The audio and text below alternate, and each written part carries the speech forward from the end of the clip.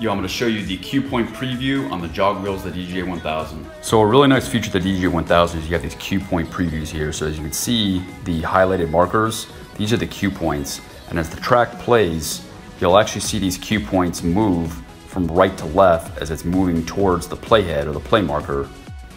And this will let you know by bars at the bottom here, 0, 4, 8, 12, 16, etc., how far away you are from the next cue point. You see these cue points are here approaching?